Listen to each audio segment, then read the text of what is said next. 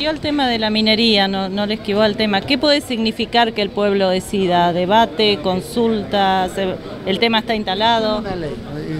Nosotros tenemos una ley, primero, la 5001, que te prohíbe en el cual hay que, eh, hay que reglamentar la posición de la ley, no se va a tocar. Hay que conformar un comité provincial ambiental, que es un paso fundamental, que se conforma por distintos sectores y son que también ellos van a decidir pero la, ciudadanía ya se ha manifestado a lo largo del tiempo, muchos vecinos.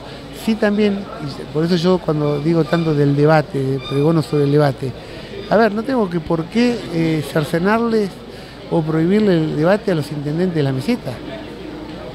¿Bien? Porque si ellos dicen que sí, ¿por qué ellos no pueden debatir que no tienen voz? ¿No estamos en democracia? ¿Sí? Que, que se debata.